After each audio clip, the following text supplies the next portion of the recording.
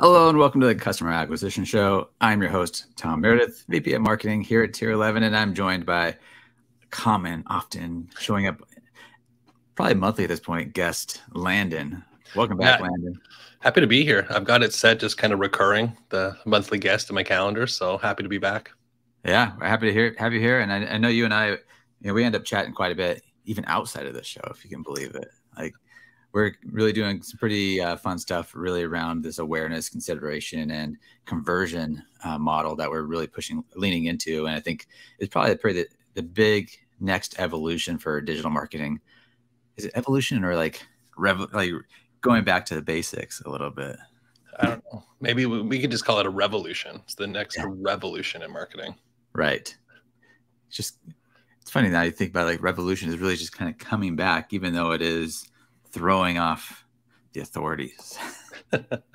yeah, I think it, it's so true. It, it really is really getting back to the fundamentals of marketing, which is rooted in just addressing human behavior. So I, I really do agree. I think it is just really distilling things down to its simplest form and just using our marketing to support that.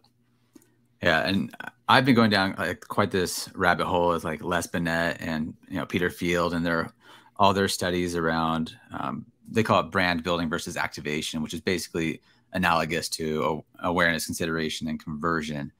And it's really the fundamentals don't really change, even as you watch their reports from 2006, 2010, I think 2018. Like even though digital is becoming a bigger part of it, the brand building still lives on mass media mm-hmm. and it hasn't changed at all maybe the there's more mass media now with like youtube a little bit and some of these other um, over the air ch- or like hulu's and i guess at this point now netflix and disney plus you'll be able to advertise on like this idea of brand building just continues to maintain um, but as part of that deep dive i've also been going back to a lot of the ogilvy stuff because i'm like mm. thinking about like what's a good brand building advertiser look like? But you go to Ogilvy and he's basically a, a DR advertiser hiding inside of a brand advertiser's clothing, clothing, which I think is kind of where we're headed right now. Yeah, I agree. I think so much of what we do today is rooted in just like the origins of everything. You know, I would just listen to a like a sales book for like a very specific reason of something I was trying to listen to. And it was believe it was created in like the 60s and it's like the same principles that we utilize today were being taught in like in the 60s and you can see so much of when you go back to like the ogilvy or you know the the binet and field study or like the sales training in the 60s it's still being taught today. It's just the the means of how it's being executed have changed. So we've gone from radio and TV to social media.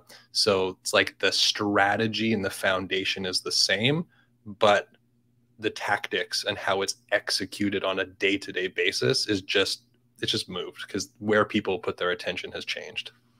Absolutely. And with these platform, these social media platforms, they are very good at converting people to your customers better than I don't know. I, I would I'd hazard a guess better than like direct mail pieces or other activations that you would experience have experienced before social media. But I think that is also tricking us. And if you look at the title of this episode, it's like why running conversion campaigns to cold traffic is a waste of money. Like we get sucked into this idea that well, Facebook can convert anybody Mm-hmm. we go dump all of our money there. Tell us why that is a falsehood. Yeah, I think if we it's almost like if we go back to like the old school origins of direct response marketing, the three key components were like your list, your offer, and the creative. So the list, like so much of the success of what you were doing was created by your list, having a highly targeted, highly curated list of people that you're marketing to and putting the right offer in front of those people. And I think that potentially what's happened is with the level of sophistication of the algorithms, we've got into the habit of thinking we can just put a conversion ad in front, put it on Facebook, and that we're just going to make money. And I think that if we go back maybe like what 10 years or more, like the early stages of these things where people made a boatload of money just advertising on Facebook because it was so new. They were first to market, it wasn't saturated, people weren't seeing ads on these platforms. Now the algorithms have got so good that they're able to to pick out that that low hanging fruit. But it's just not that simple anymore. We've got the the marketing as a whole is starting to evolve. We got the privacy changes. We're losing the ability to have those highly targeted audiences and all of those same data points that we did four to five years ago.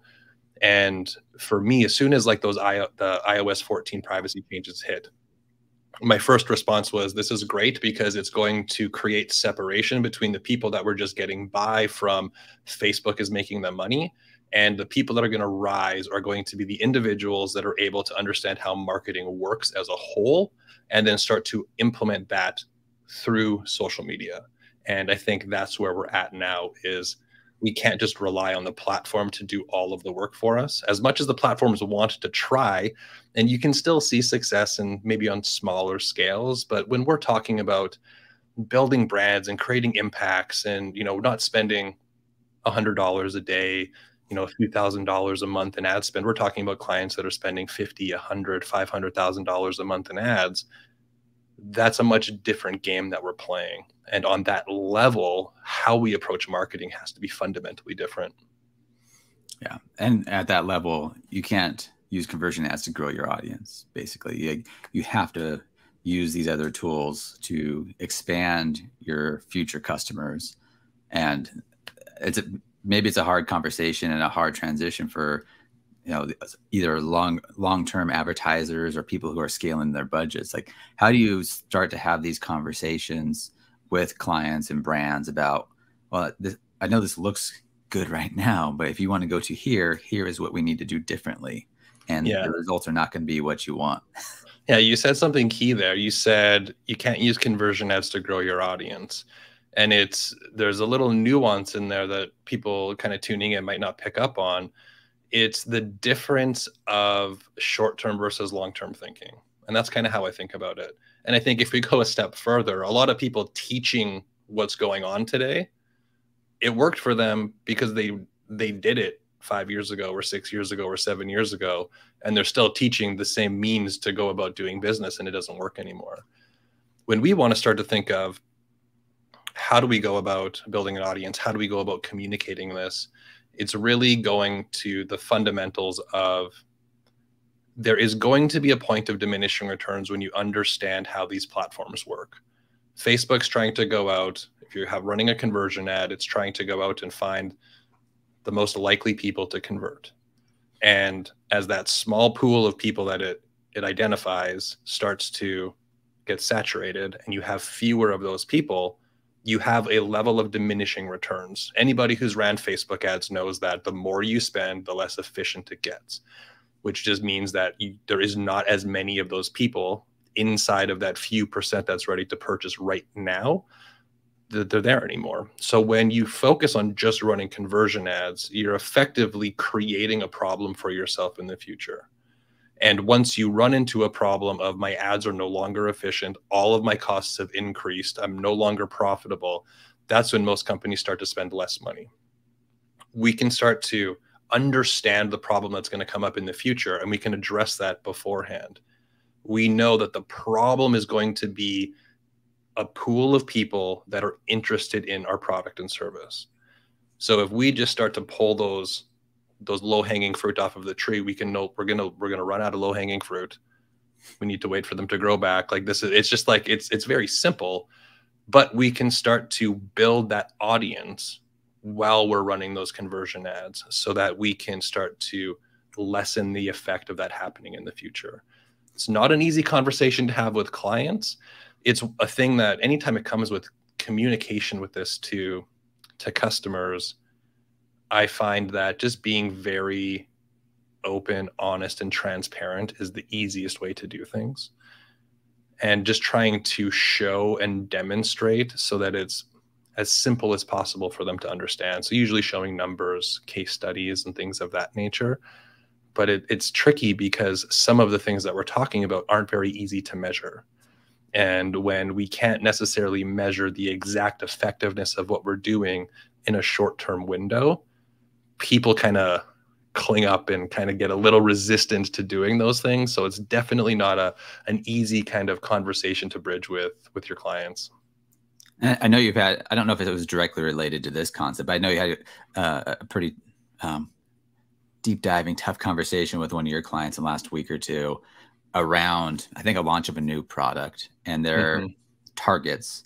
And you had to really come in and understand how they were thinking and help them see it in a different way. You, you mm-hmm. kind of tell us that story a little bit and how yeah i kind of i kind of find these conversations fun sometimes because it kind of allows me to put my detective hat on and kind of really start to dig into the numbers and I'm old school. Someone on our team asked me like if they could see the spreadsheet I use, and I was like, I wrote all of this out on a piece of paper with a pen as I was doing the math. But so the client came to us and they had a, a new funnel for a new offer that they wanted to launch, and they told us what their their goals were, which was to break even. A very common goal in kind of the lead generation and information businesses online is to break even on the front end so that we can make all of the profit on the back end, which all makes sense. Except I've ran you know upwards of nine to ten million dollars for these types of offers and ads over the last year and i've owned a lot of these businesses myself so i've got a fairly good level of expertise when it comes to what's realistic so as they kind of showed us what you know the the flow was and the prices of their products were i had this gut feeling just hearing it initially that this isn't this, this doesn't add up. There, there's something missing here. Like there's not going to be a way to break even. So for this instance, to communicate that to them, I didn't just come out and say that. I said, hey, let's jump on a call next week and let's talk about this. And then I kind of put my detective hat on and I started to just break down all of the numbers and go based off of kind of the industry averages of what I've seen, analyzing their funnel, deep diving into their funnel, going into the historical performance that this client has achieved as well, starting to break all of these numbers down. And the numbers I was coming up with myself were like a 0.1x ROAS, a 0.2x ROAS. And I'm like, that's a far cry from a break even on the front end. So I knew that there's probably some things that I'm missing. And my goal was to uncover their internal math. So I popped up a, a, Google Doc on our call and just kind of walked through like a very high level point of kind of what I was seeing, just a very to demonstrate it in a very simple form. And then he pulled up some of their math, and I was very quickly able to kind of pull out. I was like, okay, well, these two things weren't communicated with us, which is great, and they were more beneficial. They were actually going to increase their average order value, so to increase their likelihood of breaking even. But there was also a few things that just didn't make sense to me. I didn't know where they were getting their numbers from.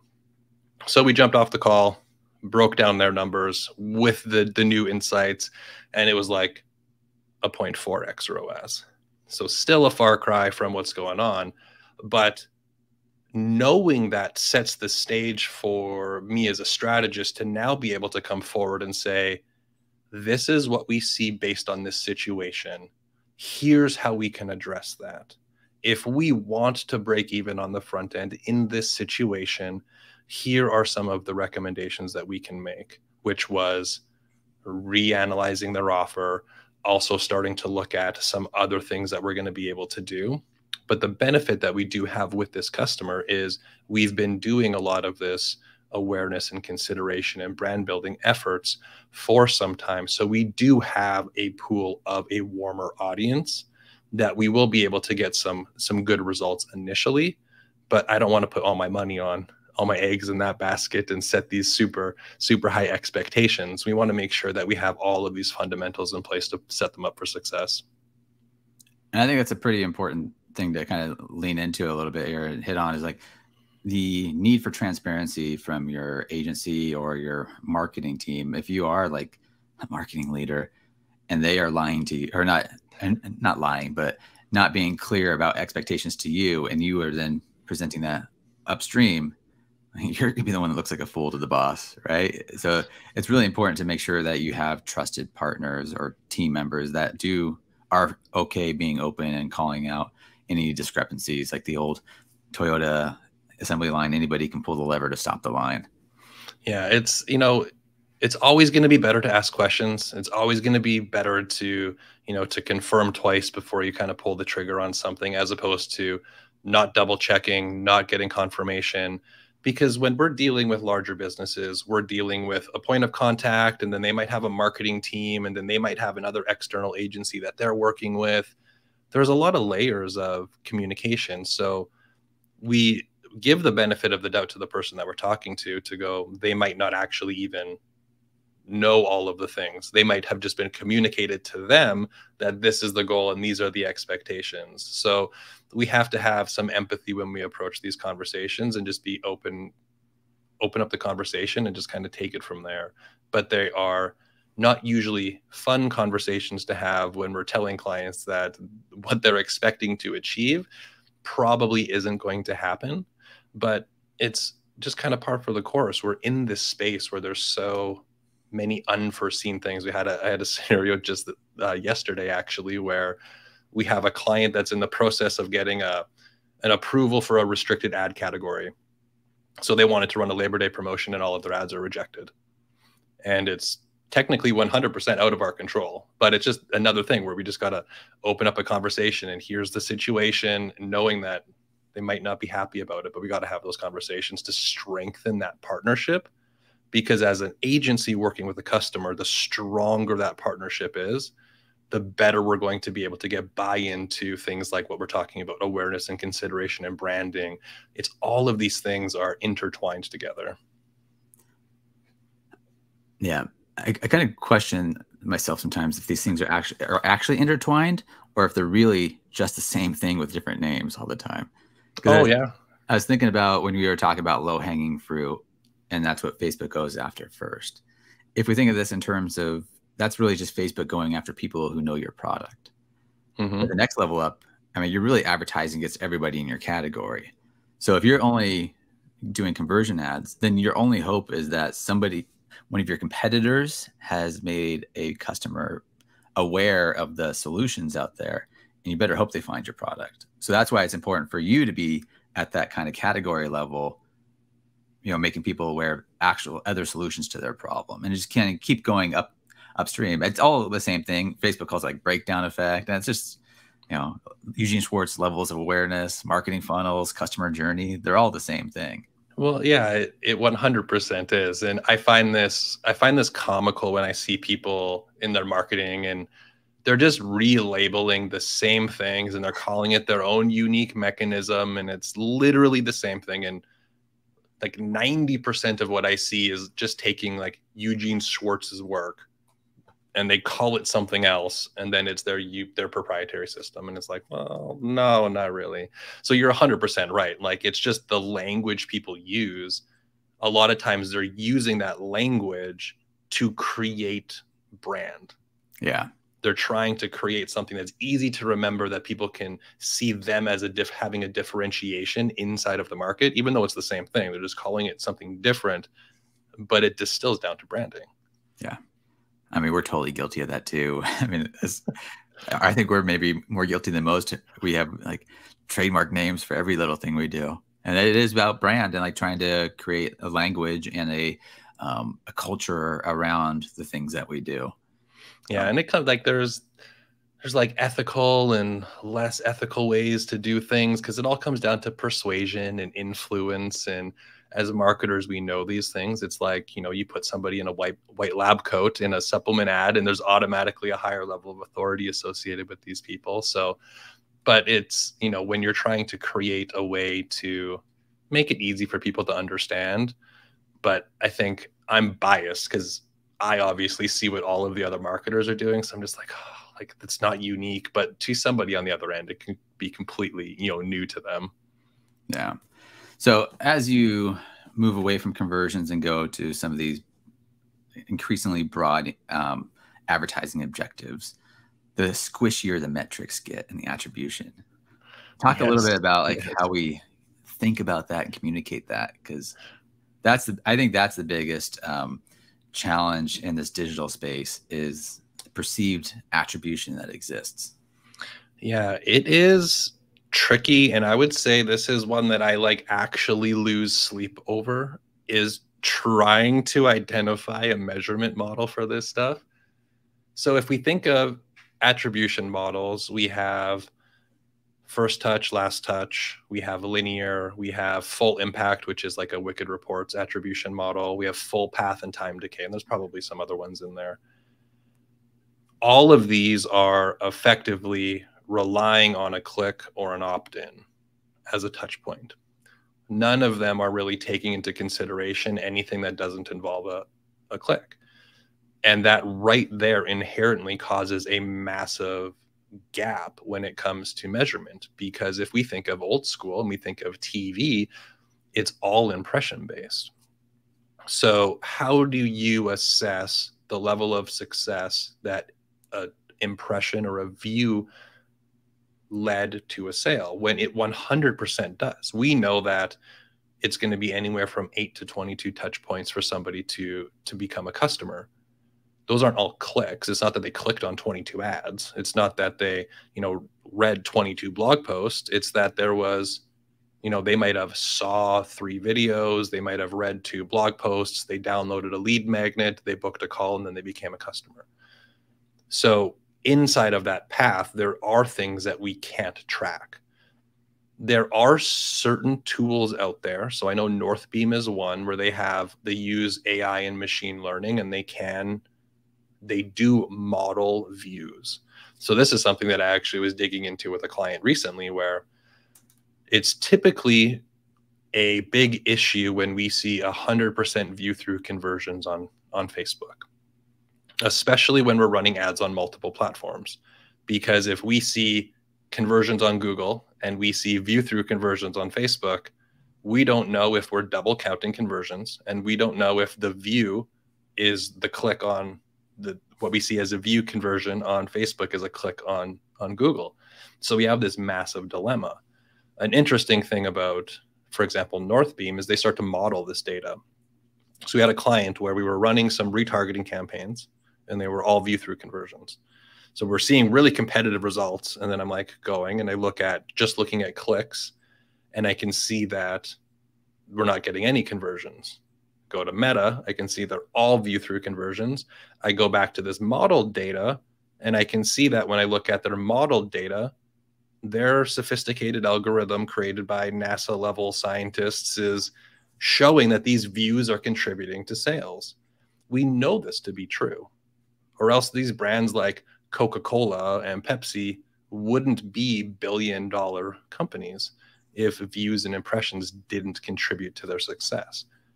So tracking this is incredibly difficult and something that I have conversations with our team nonstop. So I think in the simplest form, we can start to analyze like softer metrics like pre-click metrics in terms of how these are working on platform. Are we getting engagement on our videos? Is it stopping the thumb? Is it holding attention? And we can see that we're starting to gauge the attention there. But in terms of just showing videos and knowing its exact contribution we almost have to rely on a view through to be able to have some resemblance of something we're able to measure unless we have a tool that's able to track incremental performance increase utilizing views. Or we have to zoom out in the time frame that we're analyzing performance. That's the biggest thing. I was talking to one of our media buyers and he was asking a question about how do we know if these views are working? And he said well if we look out over a long enough time horizon a period of time where when we weren't utilizing that and a period of time when we were utilizing that, we should see an incremental improvements in our performance. And if we don't, then it likely wasn't a contributing factor. And that's kind of what I've the long and short of it, like the best I can get to it with the tools that I have at my disposal right now. But it's I know it's working.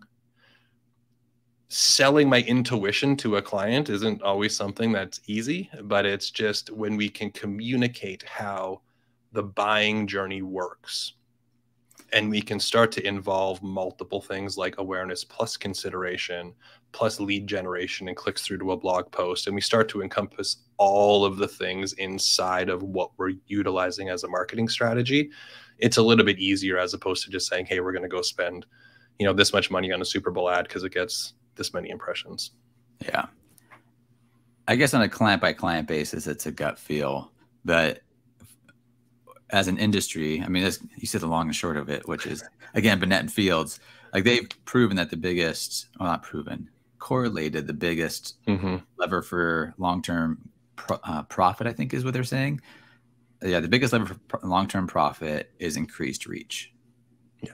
And that's the biggest correlation between the two. And they measured all the things for brand building versus act, spending more in activation. It always comes down to the bigger the reach over the long term, the bigger the profit.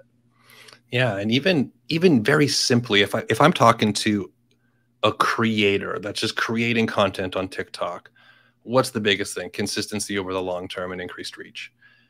And then we just extrapolate that out. Like it's it's the same thing. Like the what makes us successful just creating content on Instagram isn't much different than what creates success when we're talking about a billion dollar company. It's establishing a brand and progressively increasing our reach over time. So when we're talking, we're not talking about, you know, a company doing $100,000 a year. We're typically talking about, you know, small, medium sized businesses in the, you know, the millions and tens of millions of dollars in annual revenue. And when we want to talk about how do we start to carve out percentage in our market, branding is so incredibly important and where we can really start to waste money is if we are avoiding that and missing that component because many of the customers that we work with are in very saturated markets. They're not, and it's very difficult today i find to have a product that is 100% unique to the market and you have no competition. When you got a, a lot of competition in a saturated market well how do you differentiate yourself? Well you differentiate yourself by having a more notable brand that more people know about. Yeah. Um, what was I going to say here? Yeah, I think you had kind of talked a little bit about um, beforehand, you know, like the Alex Hormozi model with his mm-hmm. $100 million leads launch. Give a little backstory on that and talk about, you know, the success he had in brand building versus paid, really. Yeah, well, well, first off, right now I'm trying to model the Hormozi beard to see if I get any incremental lift with my social media following. But he his book is really interesting. So the audiobook is free. You can listen to it on his podcast. I have the the physical copy behind me that I'm reading. But what was cool about what he did was he had all of these lead generation ideas inside of his book and he utilized all of them for the launch of his book. So he was able to pull in a lot of proof. He outlined inside of his webinar how he utilized, I believe, through organic content, he generated. Okay, sorry, take a step back. He had 500,000 people sign up for his webinar for his book launch. Out of those 500,000 people, there was over 200,000 people that came from organic content. Zero money in paid ads, just 100% organic pieces of content across the social media platforms TikTok, Threads, LinkedIn, YouTube, um, Facebook, across Twitter, I believe, as well, or X. You know, but if you look at how he breaks that down, that didn't happen over the last six months. What built him up to the point of being able to achieve that was like four years of heavy investment into social media content, YouTube content, podcasts. But he also compared that to how much he generated from ads, which was like a hundred and some thousand people. So he generated more leads organically only because of how renowned he was able to build his brand 1.5 million subscribers on YouTube. But also, something that people miss is that the effectiveness of his paid content is amplified by the growth of his brand. If you now see an Alex Hormozi ad, you were already familiar with Alex Hormozi because of the size of his brand. So when he goes out and says, I had a 55% conversion rate on my landing page, if you just model Alex Hormozi's landing page, you can't expect to get the same result because you don't necessarily have these intangible things that he has associated with his paid marketing, which is brand. And what we talk about all the time is yes, we need to have a sound social media content strategy, but we're in the business of hacking that to amplify and expedite that process through paid advertising. Yeah. I mean, the best day to start your brand is, you know, like five years ago. The second best day is today. Yes, I, exactly. Yeah, I've been my my son's playing like basketball. He's like in the six six year old, but I see a lot of like up to ten year olds, and they're all walking around with Prime energy drinks. I was oh. like, what the heck is Prime energy drink? It's everywhere. Well, it turns out I think it's Logan Paul's brand. Yeah. He has this massive audience that he's built up over the last probably 10 years, launches this Prime energy drink. Is it not energy, but like hydration drink? And both. both. Is it both? Okay. Yeah. And it's going to do $100 million this year mm-hmm. first year. All because there's so much brand around this person. You associate that person with the product, and now it's a massive launch, super safe launch in that sense, because your your capital is not at risk for launching something cold to a market because you have you're leveraging a brand to launch something, which is exactly yeah. what Hormozi did.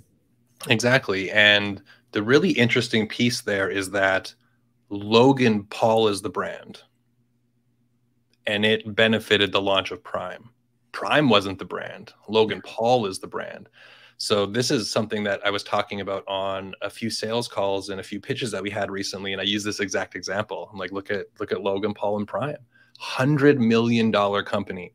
How was that achieved? Not through paid advertising, but through brand. But we can utilize paid advertising to create brand and that's what people miss is we don't have to just 100% rely on organic efforts. We can utilize organic efforts amplify them with paid complement them with conversions and we're getting the best of all of the worlds. But brand works nonstop. Look at logan paul. Look at dwayne johnson. Dwayne johnson is now worth a billion dollars. Why? He's an actor built up a brand. Then he launched Zoa and Teremana Tequila. Like now he's worth a billion dollars. Um, Conor McGregor with his uh, what did he launch? Was it a vodka? I can't remember. He launched he launched a liquor as well. Just nonstop. Ryan Reynolds did the same thing with Aviation Gin and uh, was it Mint Mobile? Yeah. Uh, just nonstop. You see these people that are building brands, turning them into businesses. The evidence is everywhere it's like, do I need to show you a case study? Like Coca Cola, a Pepsi, like we buy because of brand association, and we we can create that. Yeah, what's really interesting about that is how the use of celebrity has flipped completely. Because it used to be a brand would endorse have a celebrity endorsement, right? Like a, a Jordan, where the brand would be clearly paying somebody to do something. But now it's the other way where the celebrity is driving the brand and not necessarily where the brand is just associating themselves. I think that something important to note though is that if you take someone like Dwayne Johnson, we can't discount the fact that paid advertising did in fact build the brand of Dwayne Johnson. So he was in movies. How are movies sold? TV commercials, billboards, all of these sorts of things to drive butts in seats. So, butts in seats from paid advertising of the movie companies built the brand of Dwayne Johnson. Now, Dwayne Johnson has taken that brand and he's translated it into business success. But I think you're 100% right. People got smart.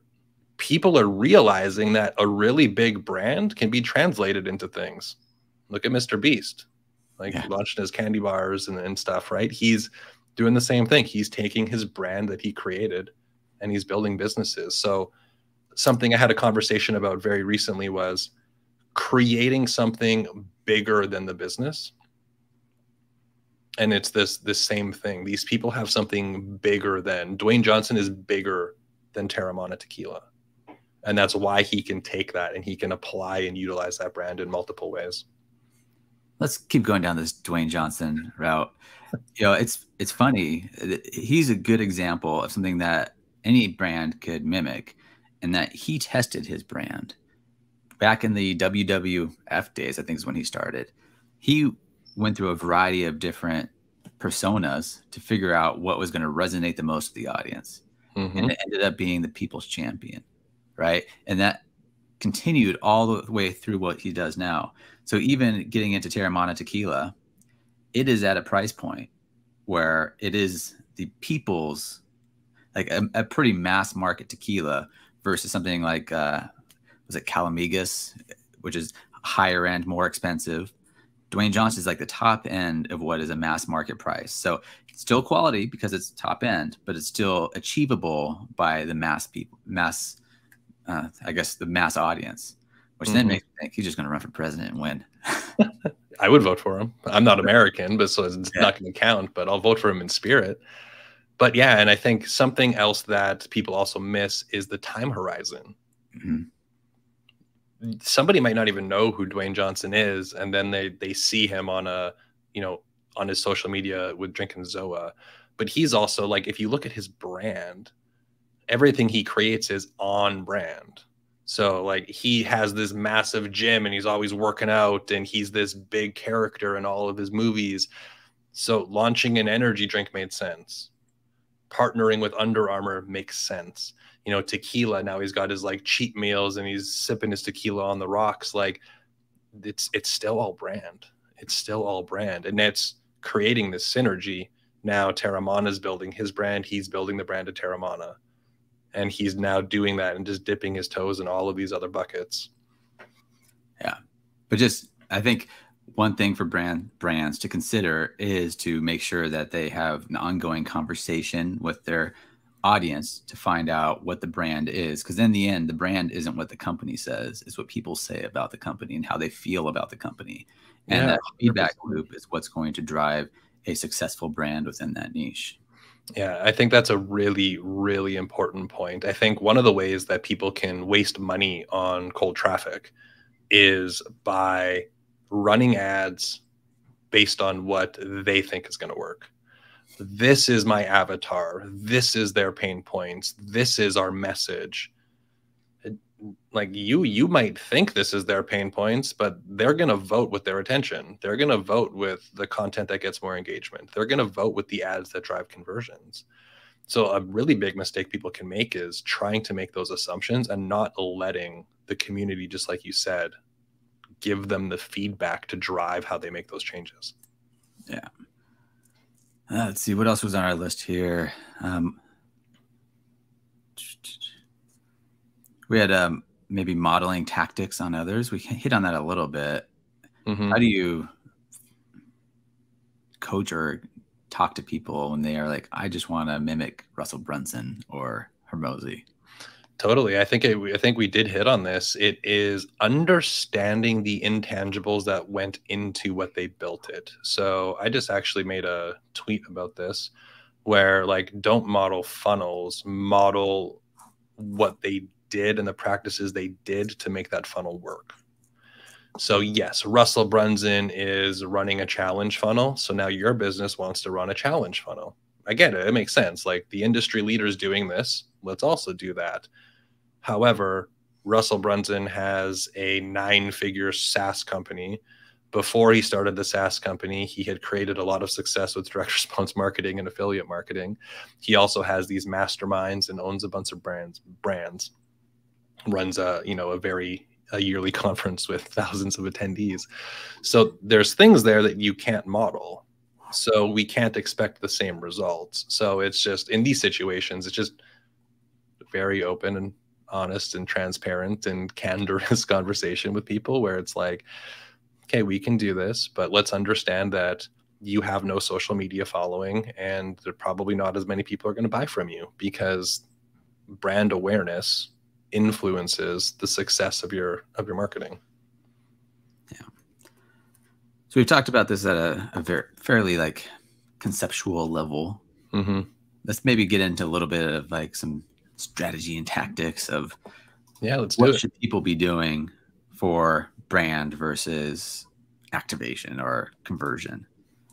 Yeah, so this is a great point. So I think that there's a lot of context here. So I'm going to assume that backends in place. We don't need work on the conversion or optimization side of things. We got email marketing in place. We got the data and tracking, and we got the fundamentals in place that any good agency should be working with their clients to get in place. When we want to look at how do we avoid running into this, tapping out of our market, you know, having to say our creatives fatigued, how do we set something up in place? I wish I could give numbers of like 10% here, 20% there, you know, 80% here. Those numbers don't add up. But it's going to be a combination of very simply, it's like our ACC method, which is awareness, consideration, and conversion. Most marketers that are going to be tuning in are very familiar with a conversion ad. But we need to take a step back and understand what is a conversion ad doing? Who is a conversion ad targeting? A conversion ad is targeting somebody that already knows what their problem is. They already know what solution they need. They're just trying to figure out who to buy it from. That is the person that a conversion ad is targeted to. Oftentimes, it's going to be one to three percent of the market at any given time, and you know you're going to be using things like case studies and testimonials and social proof and to to sell them on your product. However, if we want to scale and we want to be able to improve the results that that gets, there's all of these other things that happen in the awareness and consideration stage. In the awareness stage, this is effectively they have a problem. They don't know what the solution is. In the consideration stage, they know what their problem is, and now they're trying to assess which solution that they should go with. We can now utilize our marketing to carry people through their buying journey to get them to be in the point of the conversion stage. It's like creating a conveyor belt. We want to, we're going to, we don't want to just be at that conversion stage. We're bringing them through along this conveyor belt from the awareness to the consideration into the conversion stage. And then we just rinse and repeat. And when we do that, that allows so much more scale for our business than just focusing on this small portion of the pie that is going after the smallest segment of the audience. Yeah. And as far as budget ratios go, I know like the the goal that we're always trying to get to is like 40% is conversion. Mm-hmm. I think there's always a lot of work to do to get to that. Um, but on the creative side, how do you think about these differently? And I, I think this is something that Facebook is complicit in com- telling people to do conversion because they were always like 15 second video ads have the highest conversion, mm-hmm. which is a very narrow view of all the ads that go into something because the more you get away from conversion, I, I think the longer the ads have to be to educate or entertain. Challenge me. I think I would challenge you on that. I think that if I'm thinking of who's going to invest the most time with me, and it's likely somebody that is ready to make a decision, they're in that research phase. They're the people that are going on Google searching for a solution to their problem. It's going to be somebody in that consideration to conversion stage. I think in the awareness stage, we can be a little bit more short because we're just trying to capture somebody's attention, get them starting to understand our brand or get their attention that oh they're they have this problem this person has a solution there's some old marketing talk and i can't remember the exact quote but it's like if you can describe a problem as good or better than they can they're going to assume that you have the solution hmm. so i do think that the short form and i do think that i don't think necessarily facebook i think almost like the tiktokification of the the the community right now has really played into this. People interact in different ways. We got the millennials, we got Gen Z. The behavior of people is changing. And I also think this is why branding is becoming so much more important. People don't want to, the, the younger the person, the less likely they are to purchase from a company. They want transparency, they want honesty, they want to have a brand that they align with. They don't want the same old marketing tactics that worked and were sold 25 30 40 50 years ago this high pressure you know all of this urgency all of this scarcity those things work less and less and less and less and they have to be used in very tactful ways.